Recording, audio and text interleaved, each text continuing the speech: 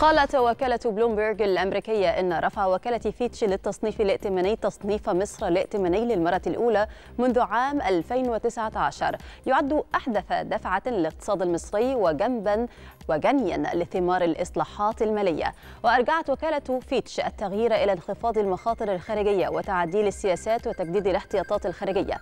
وتدفقات رأس المال الجديدة وسعر الصرف الأكثر مرونة.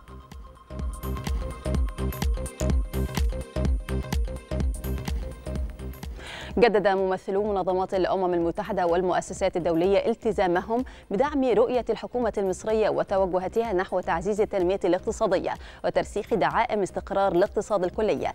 جاء ذلك خلال اللقاء الموسع الذي عقدته وزيرة التخطيط والتنمية الاقتصادية والتعاون الدولي رانيا المشاط مع المنسق المقيم لمكتب الأمم المتحدة في مصر إلينا بانوفا وممثلي نحو 20 شركة ووكالة ومنظمة أممية بالإضافة إلى ممثلي البنك الدولي والبنك الإسلامي للتنمية التنمية حيث شهد اللقاء استعراضا لإطار التنمية الاقتصادية وإجراءات حوكمة الإنفاق الاستثماري ومناقشة الأولويات المستقبلية لتعزيز جهود التنمية الاقتصادية.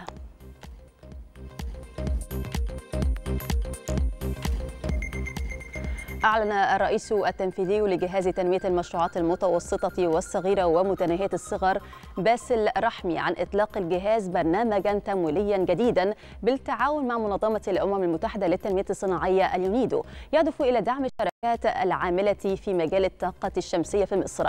أشار رحمي إلى أن هذا البرنامج يأتي في إطار حرص الجهاز على تشجيع الاستثمار في الطاقة المتجددة وتعزيز دور القطاع الخاص في تحقيق أهداف التنمية المستدامة وتوفير هذه المنتجات المنتجات بأسعار تنافسية لكافة المشروعات الزراعية والصناعية والإنتاجية التي يمكن أن تستفيد من الطاقة الشمسية كمصدر رئيسي لتكون صديقة للبيئة. وفي نفس الوقت تساهم في التقليل من الانبعاثات الحرارية.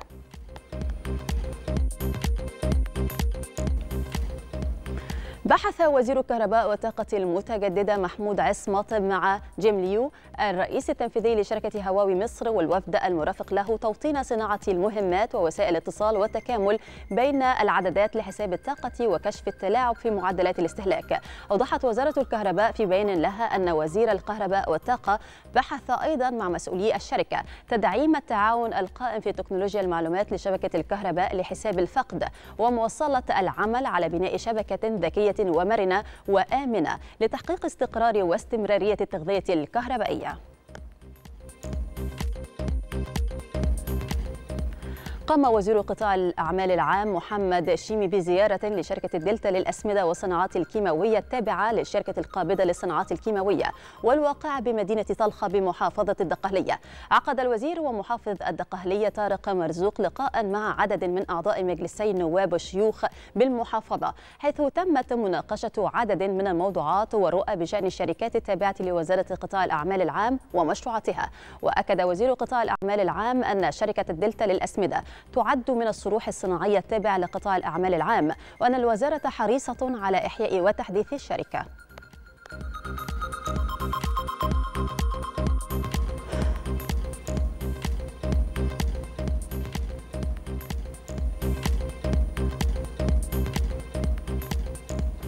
في أسواق البترول العالمية ارتفعت أسعار النفط بعد تقارير أفادت بأن إيران تستعد لشن ضربات للرد على إسرائيل خلال الأيام المقبلة لكن الإنتاج الأمريكي القياسي أثر على الأسعار. صعدت العقود الآجلة لخام برنت بنسبة 4% لتبلغ نحو 73 دولار و10 سنتات للبرميل.